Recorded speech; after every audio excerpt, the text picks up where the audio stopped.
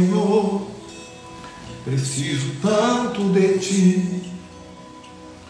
Sem a presença de tua glória, não poderei prosseguir. Jesus.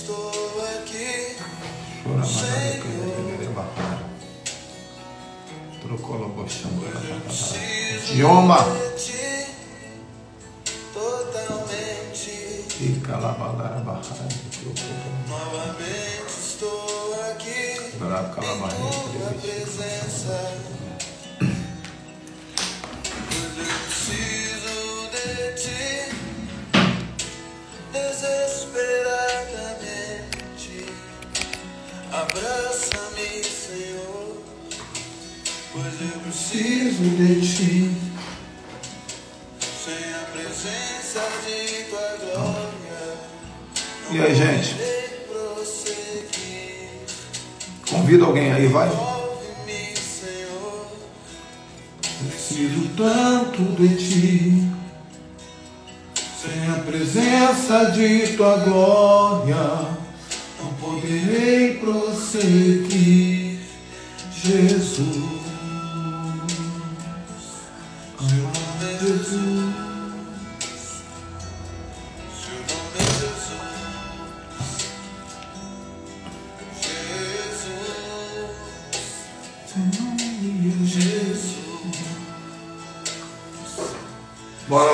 Vamos convidar pessoas. Hoje nós vamos falar sobre a história da noiva violentada. Vai dar uma travadinha aqui rapidinho.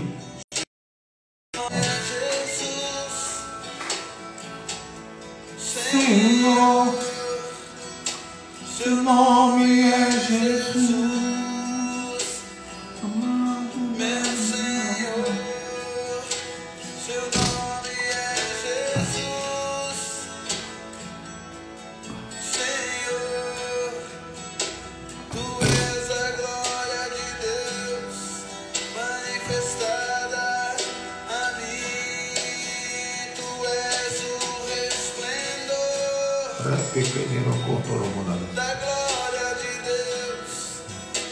A expressão exata do seu eterno ser.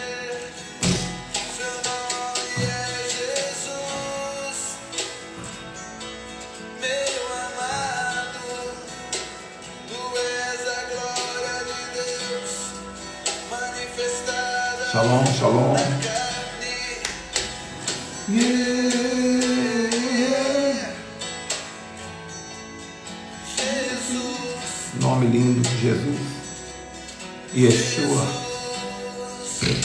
O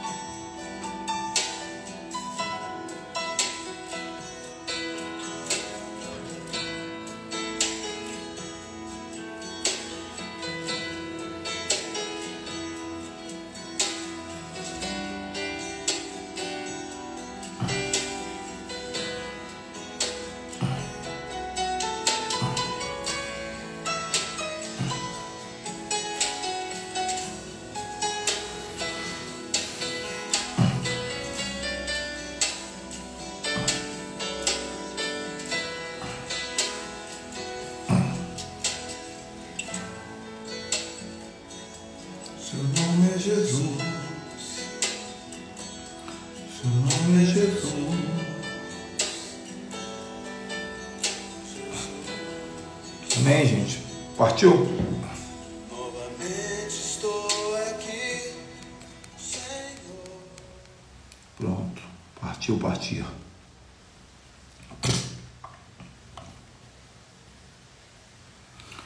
E aí, gente, beleza? Tudo bem?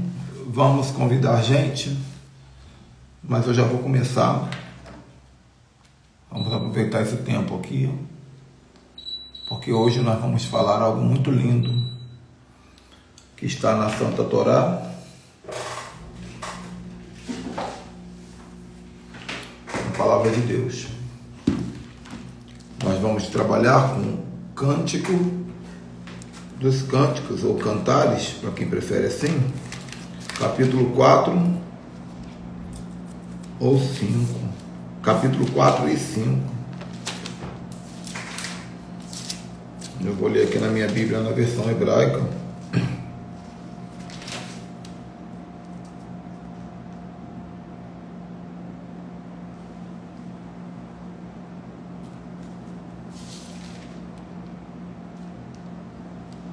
Vamos ver como é que está aqui na versão hebraica.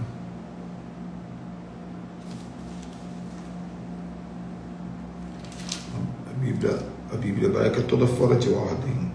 Às vezes eu fico enrolado aqui. Achei aqui.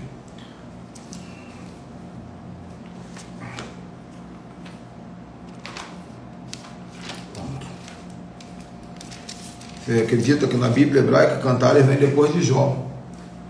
Vem depois de Provérbios, não, vem depois de Jó. E chama Shirashirim. Shirashirim, o cântico dos cânticos em hebraico. Tá bom? Eu queria que você prestasse atenção nessa linda e terrível história. Porque essa é a sua história. Essa é a minha história. Todos nós sofremos o que essa mulher vai sofrer nessa história aqui, que é a violência sexual espiritual. Aí você pode ir comentando aí conforme eu estiver ensinando, tá bom? Mas ele vai dizer aqui em Cantares, capítulo 4, versículo 16, ele diz assim: Na verdade, ela diz assim, a noiva. O nome dessa mulher aqui é a Sunamita, ou Sulamita, na verdade. E ela representa a igreja. Essa mulher que vai ler esse texto aqui agora, ela representa você. Ela representa eu. É a amada de Salomão, a Sulamita. Então, Cantares 4,16, ela diz assim: Levanta, vento norte, venha, ó vento sul, sopra no meu jardim, e que se levantem os seus, que se derramem os seus aromas, e que venha o meu amado em seu jardim e coma dos seus frutos excelentes. Aleluia. Olha que, que oração linda a Sulamita faz. Ela diz: Venha vento do norte, venha vento do sul e sopra no meu jardim. E se levantem os aromas, se levantem os aromas. E que o meu amado venha e coma os seus frutos. Olha, nós estamos aqui falando de três personagens. Quem são os três personagens? Fala aí. Primeiro personagem, ela, a noiva. Segundo personagem, na verdade são quatro personagens. Primeiro personagem, ela, a noiva. Segundo personagem, ele, o amado. Terceiro personagem, o jardim. É, você tem que prestar atenção no jardim. E o quarto personagem, o vento. O vento. Ramandabarekotoroboho. Então a oração dela envolve em Cantares 4,16 esses quatro personagens. Venha vento norte. Quem é o vento, gente? Vento é o Espírito Santo.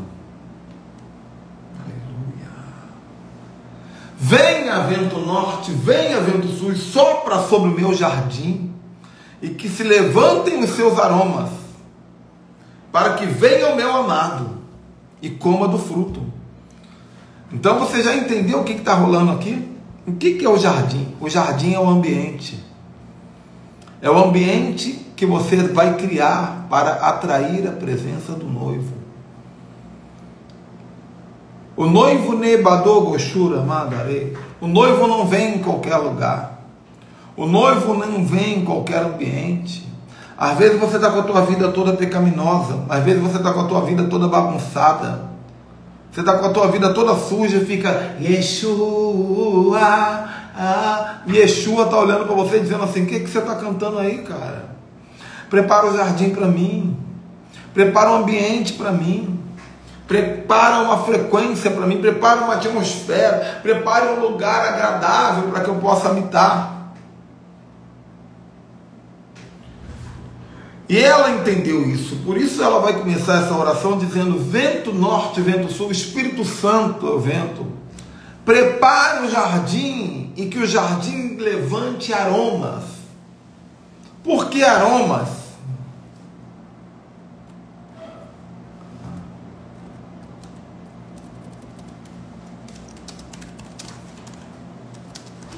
Porque os aromas vão atrair o noivo. Aroma é uma coisa muito linda, gente.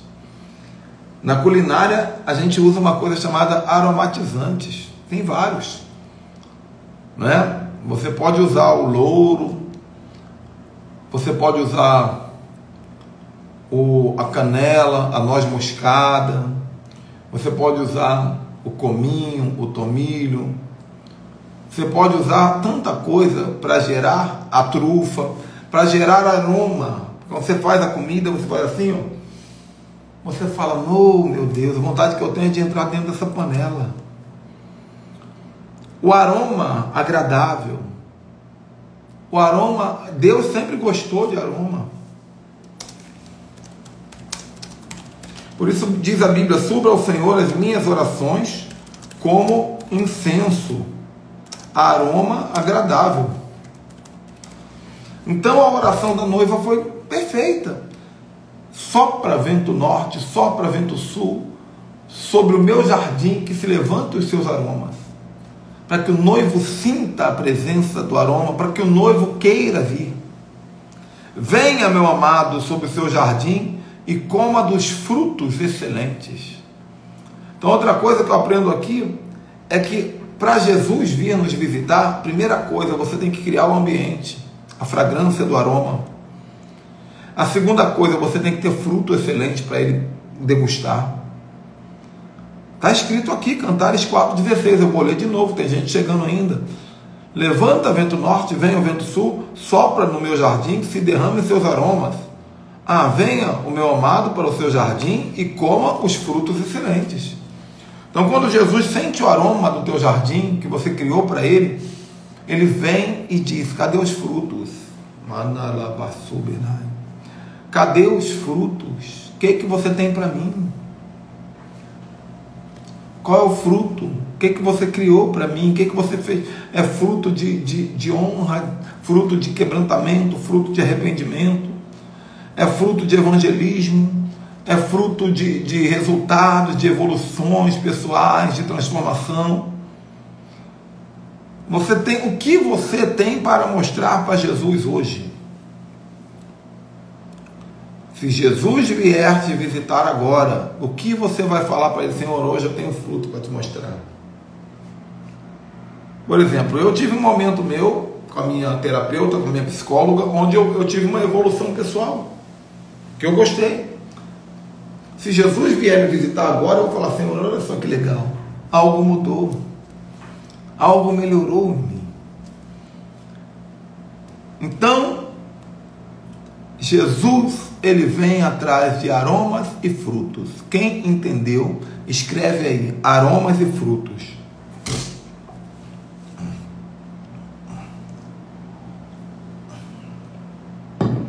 Porque a história é profunda.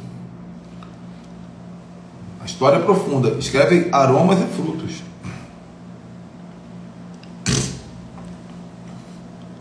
Vou esperar só você escrever. Jesus ele vem atrás de aromas e frutos. Quem chegou atrasado, Cantares 4,16. É uma pena que vocês chegaram um pouquinho depois, porque a introdução é relevante demais nessa história. A introdução é relevante demais. Aromas e frutos. Muito bem, muito obrigado. Muito bem. Aromas e frutos. Excelente. Então ela chamou por Jesus. Vem, meu amado, vem até o jardim. Eu preparei aromas e frutos. A resposta do amado, prestem atenção, a resposta do amado é imediata. Cantares capítulo 5, versículo 1. Olha que coisa linda. O Senhor Jesus responde: Eu já entrei no meu jardim. Aleluia. Eu vim. Minha irmã, minha noiva. Porque Jesus é nosso irmão mais velho, né? E é o nosso noivo também. Então ele diz: Eu já entrei no meu jardim, minha irmã, minha noiva. Eu colhi a minha mirra, os aromas. Mirra é aroma. Eu comi o favo de mel, é fruto. Eu bebi do vinho e do leite, é fruto. Entende? Jesus ele vem quando você clama. Ele vem literalmente, como foi dito, ele vem atrás dos aromas, da mirra, da unção. Mirra é unção. Ele vem atrás do vinho, que fala da alegria que você oferece para ele. Ele vem atrás do leite que você oferece no seu jardim. Antes dele se deleitar com você, ele vai se deleitar com o jardim.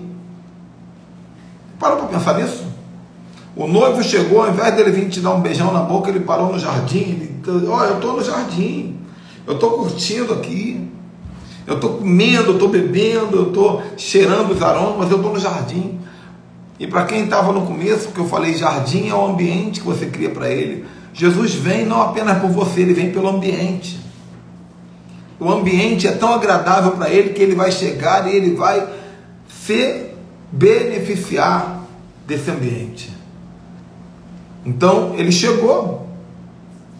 Ele chegou.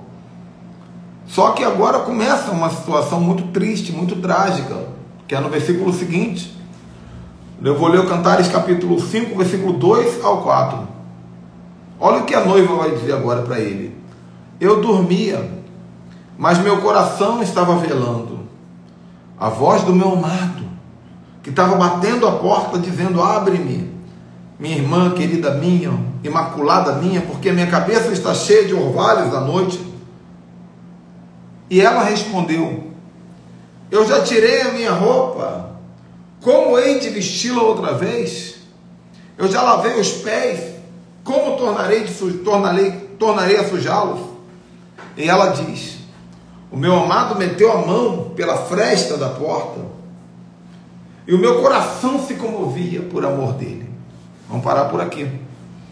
Então, olha só, recapitulando.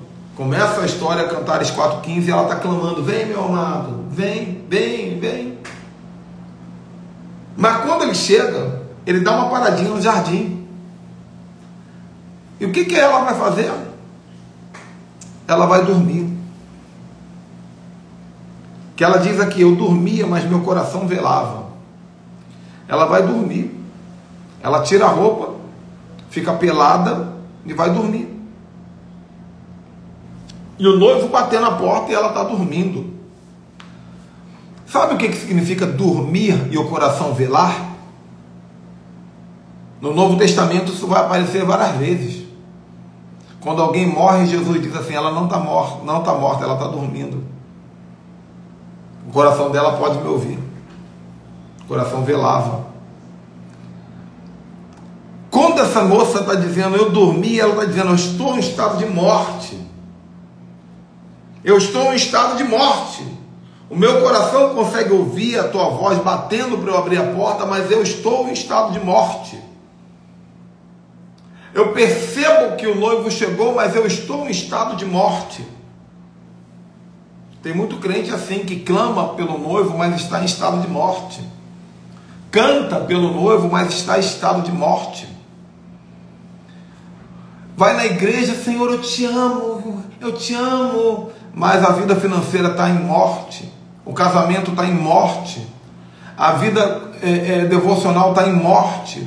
O caráter está em morte. A saúde está em morte. Você está dormindo enquanto chama pelo noivo. Não tem sentido nenhum essa moça chamar pelo noivo no, no, no versículo 16 do capítulo 4 e três versículos depois ela está dormindo. O nome disso é hipocrisia. O nome disso é religiosidade. Eu chamo pelo noivo, mas eu não estou pronta para ele. Eu chamo pelo noivo, mas eu não estou pronta para lidar com ele, com a presença dele. O detalhe é que ela diz: Eu tirei a minha roupa e dormi. Ou seja, ela estava pelada. E o noivo estava batendo na porta. Pera aí. Se ela estava pelada e o noivo estava batendo na porta, o que, que o noivo queria? Hein? Escreve aí.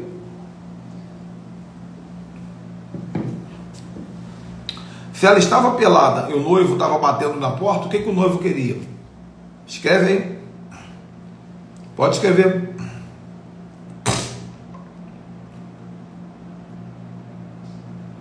Vou esperar. Se ela estava pelada, intimidade. Para com essas palavras evangélicas aí, gente. Fala direito. O que, que o noivo queria? Ela estava peladona. E o noivo estava batendo na porta. Ah, vocês estão demais. Esse negócio de intimidade aí. Intimidade. Transar. Melhorou. Melhorou.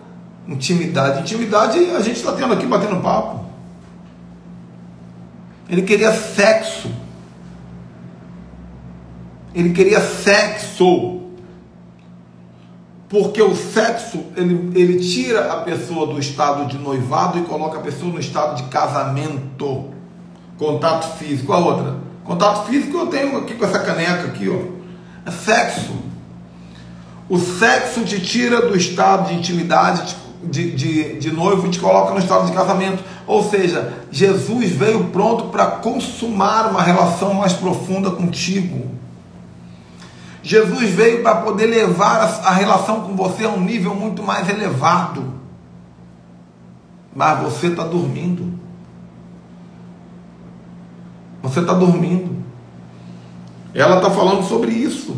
Eu chamei, ele veio, mas ele veio e eu não. Eu não eu, eu, olha o argumento dela. Eu tirei a roupa, como voltarei a vestir?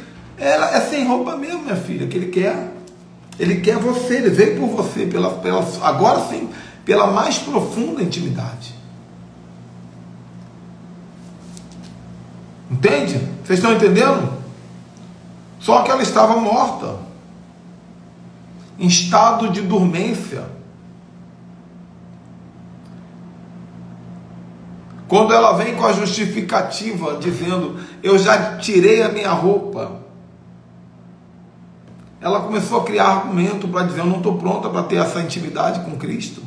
Eu estou nua, você não pode entrar, você não pode ver minha nudez. Eita, meu Deus, isso fala de pecado, gente.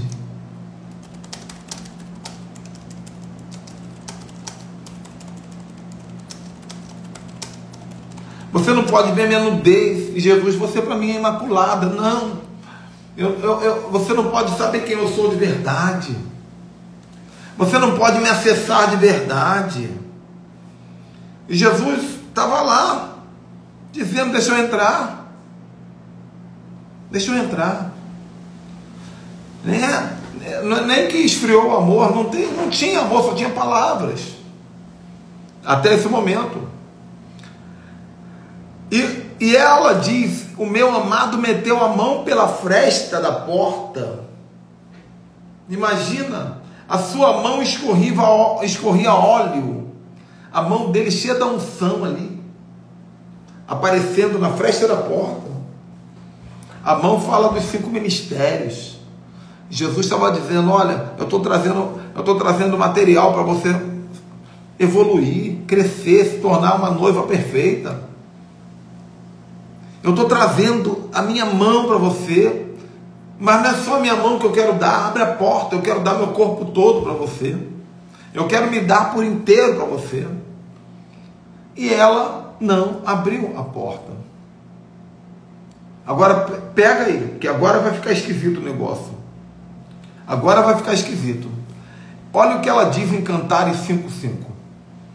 Eu levantei a mão, eu levantei da cama para abrir a porta. As mãos dele escorriam mirra, unção. Eu abri a porta, mas ele já não estava mais lá. Pega aí, gente, que você vai cair da cadeira agora. Preste atenção, não estou brincando não.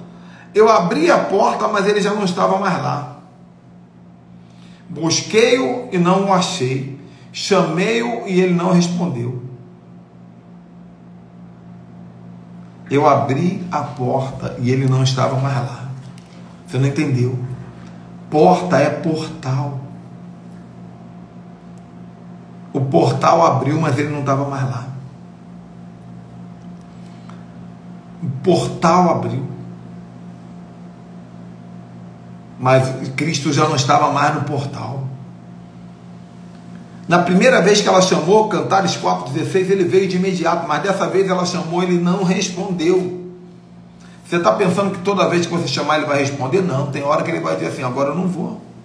Agora eu não vou. Sabe por quê? Quem fala bem sobre isso é o pastor Agnaldo, meu amigo. Existe uma hora certa que Deus abre o portal para se, se relacionar com você. Se você não estiver pronto para se encontrar com ele na hora que ele bate na porta, pode ser que na outra hora ele não, ele não esteja. Você está entendendo? Rema Nagashai. Três da manhã, Jesus te acorda. Você não ora. Aí quatro da manhã você acorda. Ele não está lá. Você precisa estar atenta. Ou você precisa estar atento. Na hora que ele colocar a mão na fresta da porta, você tem que abrir a porta. Tirar a sua roupa. E aprofundar essa relação com ele. Deus quer te levar a níveis de comunhão espiritual muito maiores do que você conhece. Mas na hora que Ele te chama, você tem que estar pronto. Você tem que estar pronta.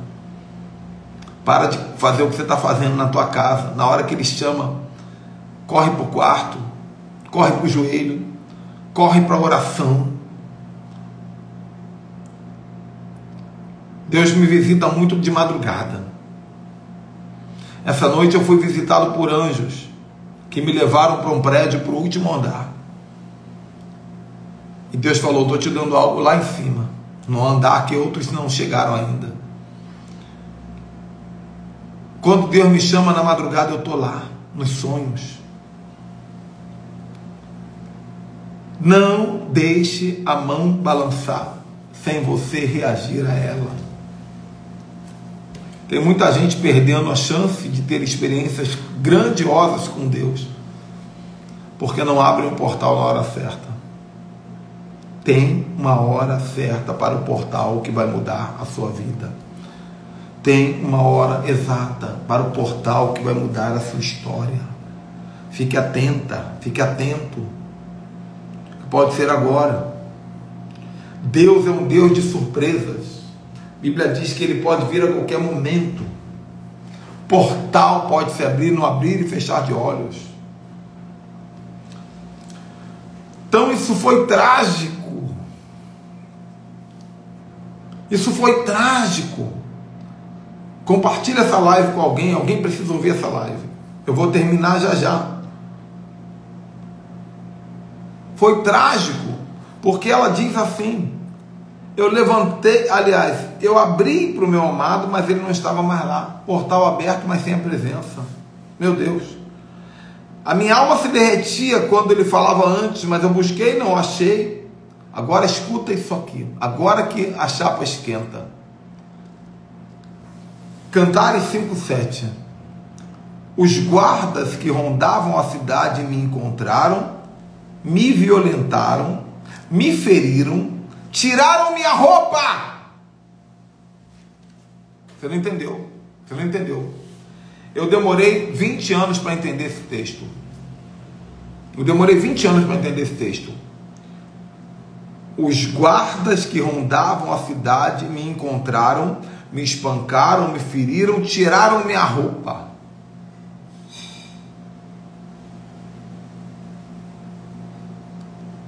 Que guardas são esses?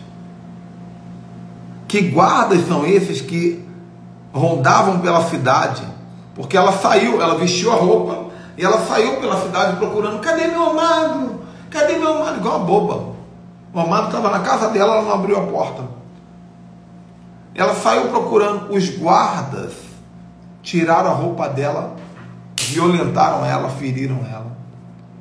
Quem são esses guardas? Não são demônios. Eu pensava que eram demônios. Mas se fossem demônios, ia dizer demônios. Guarda fala de proteção. Os guardas da cidade são pessoas que estavam ali para protegê-la, mas não protegeram. Quem são esses? É a religiosidade. Sem Jesus, é a religiosidade que vai te guiar. E a religiosidade, ela também quer ter uma relação sexual com você. Por isso diz: eles tiraram minhas roupas. A religiosidade tirou as roupas dela. Você não vai ter intimidade com Jesus, não, você vai ter intimidade comigo. Você não vai ter intimidade com Jesus, não, você vai ter intimidade com, com o culto de, de, de milagres com as reuniões da, da, da, da CGA, DGRB, do com, com, conjunto das irmãs Varoa. A sua intimidade não vai ser comigo, a sua intimidade vai ser com o sistema religioso. A sua intimidade não vai ser comigo, a sua intimidade vai ser com a teologia. A sua intimidade não vai ser comigo, a sua intimidade vai ser com todo o sistema grego-romano chamado Igreja Evangélica. Você vai viver no sistema, mas nunca vai me conhecer de verdade. Nunca vai conhecer Jesus de verdade. Só que o que, que, a, que, que a, a religiosidade faz? Ela te machuca, ela te destrói, ela te fere. Quantas pessoas estão debaixo da minha cobertura porque foram feridas e violentadas pela religiosidade? Ela diz aqui: espancaram-me, feriram-me, tiraram minha roupa, os guardas do muro, era para eles me guardarem. Os pastores que eram para cuidar de mim. Os apóstolos que eram para cuidar de mim, acessaram a minha intimidade e me feriram. Os profetas que eram para cuidar de mim, acessaram a minha intimidade e me feriram. A denominação que era para cuidar de mim, acabou comigo. Meu pai era um religioso, mas ele acabou comigo. Meu pai era pastor evangélico, mas ele ele, ele maltratava minha mãe dentro de casa. E assim, as histórias são essas. Por isso que a maior parte dos bandidos chama-se Ezequiel, Jeremias, né? Ezequias, João, Mateus, só nome de crente, porque é tudo filho de crente. Crente religioso, que destroem você dentro de casa. Você pensa que você vai evangelizar uma prostituta achando que a prostituta não conhece o evangelho? A prostituta conhece o evangelho, ela não conhece é o amor. Se você for evangelizar uma prostituta, não fale versículo bíblico para ela não, que ela conhece. Não chama ela para ir para a igreja, não, ela conhece. Mostre amor para ela, que isso ela não conhece. Ela não conhece.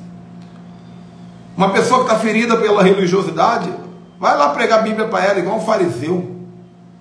É porque a Bíblia diz, querido, ó, a Bíblia diz para não fazer isso. Ela vai dizer, essa linguagem religiosa eu já conheço, que eu preciso é de, de amor, de intimidade com Cristo. Então, tudo aqui nesse texto, uma pena que muita gente chegou atrasada, mas essa live tem que ser assistida de novo, vai ficar salvo aqui. Talvez eu jogue no YouTube também. Você tem que assistir desde o começo para você entender tudo que está acontecendo aqui da chance que essa mulher perdeu de ter intimidade com Cristo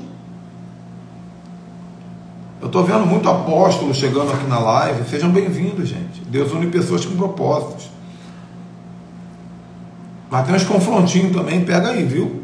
Pega aí.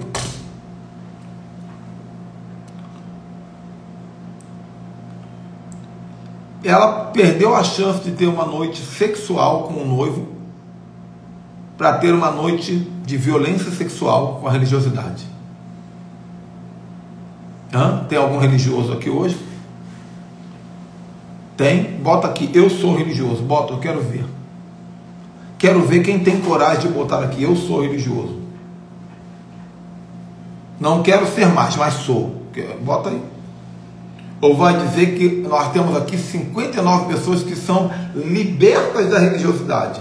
E eu estou pregando à toa.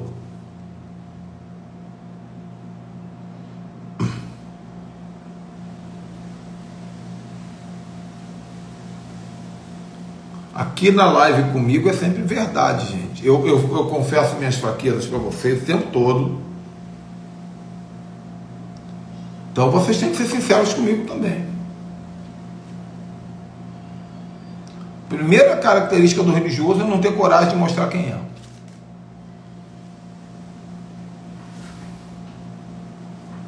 Ninguém. Não tem nenhum religioso na live.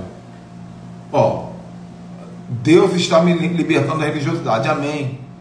Eu sou e nem sabia desse esclarecimento. Amém. Já fui muito. Amém. Eu nunca vi tanto pastor e apóstolo nessa live aqui, ó, um monte. Deus está trazendo vocês aqui para vocês ouvirem essa palavra. Ó, olha quanto apóstolo. Assista essa palavra desde o começo. Eu vou salvar ela. Prega na sua igreja, mas primeiro prega no teu coração. Sai da Babilônia.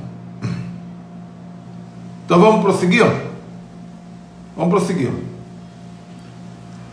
Agora ela está pelada, deitada no chão, no meio da rua, violentada sexualmente. Amém, minha irmã. Ó, tô gostando da. Tô começando a ver umas confissões mais sinceras aqui. Todas são, mas algumas são mais. Ela está, Cantares 8, ela está deitada, pelada, sangrando, violentada, chorando.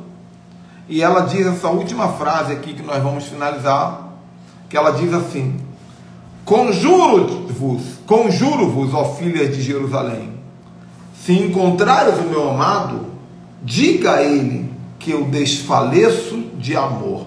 Esse texto também eu demorei 20 anos para entender o que ele quer dizer. Eu vou interpretar para vocês. Conjuro-vos, ó filha de Jerusalém. Quem é filha de Jerusalém? Aqui. São as, as damas do noivado que acompanham a noiva até o dia do casamento. Elas são adultas, elas são mulheres virgens, puras e que são as melhores amigas da noiva. Elas são chamadas aqui de as filhas de Jerusalém. Então, no momento que a noiva foi violentada, ela diz: Filhas de Jerusalém, conjuro-vos. O que, que significa conjuro-vos? Significa eu juro. Eu me comprometo, eu juro, eu juro. Então está dizendo, filhas de Jerusalém, minhas amigas, eu juro, se vocês encontrarem o meu amado, eu direi, eu estou querendo fazer amor com você. É o texto é esse, ninguém sabia, né? Desfaleço de amor. Desfaleço de amor é eu estou querendo fazer amor com você.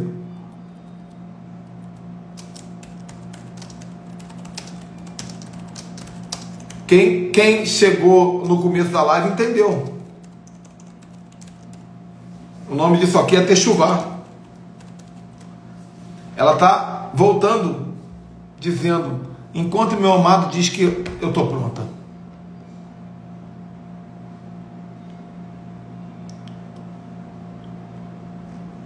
Dulcimar, depois me chama para conversar sobre essa frase aí, tá, filha? Me chama. Se possível, hoje ainda.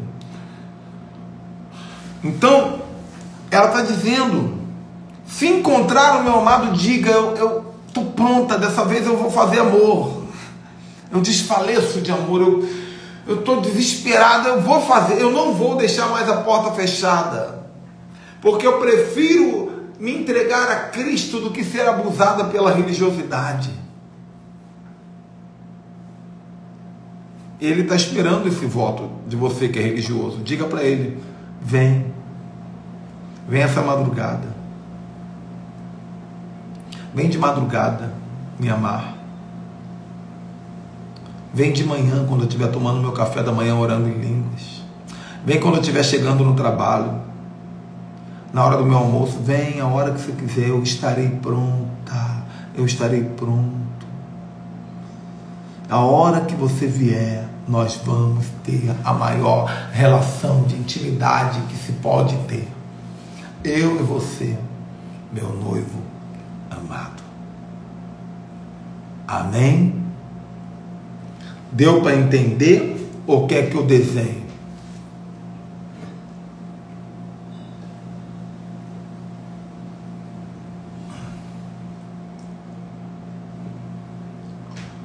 Deu para entender ou quer que eu desenhe?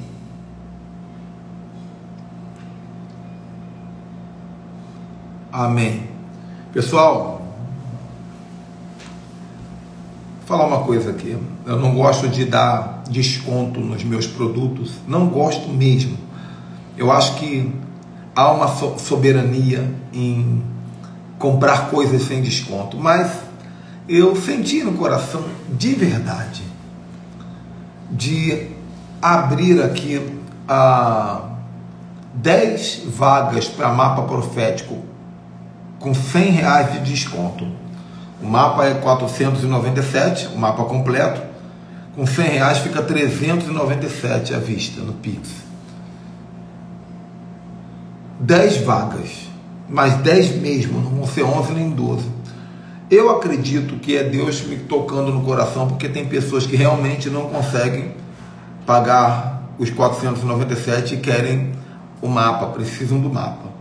Então, se você quiser, me chame assim que acabar a live, fala, apóstolo, vou fazer o Pix agora. E outra coisa, eu prometo entregar o mapa no máximo em uma semana. Geralmente eu demoro quase um mês. Talvez até em um dia, dois dias. Só preciso que me chame, tá? Para quem não sabe, o mapa profético é a ferramenta profética mais linda que Deus já deu para alguém nesses últimos dias, onde através de uma profecia escrita você vai saber exatamente quem você é. É um estudo profético do seu nome todo, da sua data de nascimento, das letras hebraicas do seu nome e muitas coisas, né? Do dia que você nasceu, da capa do jornal do dia que você nasceu. É um estudo profético com mais de 15 páginas. Se você quiser adquirir um mapa profético nesse desconto, tem várias pessoas aqui que já adquiriram. Se você quiser adquirir nesse desconto, o meu WhatsApp está aqui no link da descrição para quem está assistindo pelo Instagram. E se você está assistindo pelo YouTube, tomara que ainda dê tempo, que eu vou baixar ainda para botar no YouTube, né? Então, se você está assistindo no YouTube, tomara que dê tempo. No YouTube, tá aqui embaixo o meu WhatsApp. No Instagram, tá no link da bio. Ok, gente? Oportunidade é igual navio, é igual navio passando na ilha do náufrago. Se você não pegar, você pode ficar preso na ilha para sempre. Então tem uma oportunidade aí na tua vida. Tô vendo aqui, ó.